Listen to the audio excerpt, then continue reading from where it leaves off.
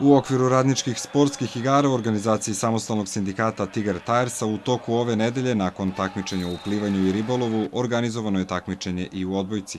Pobednik u ovom sportu je ekipa vulkanizacije, a o takmičenju govorio je Bratislav Aleksić, referent za sport. Jutro je završeno takmičenje u odbojci, učestvovalo je osam ekipa, vulkanizacija je prva, prerada je druga i Big Tigar treći.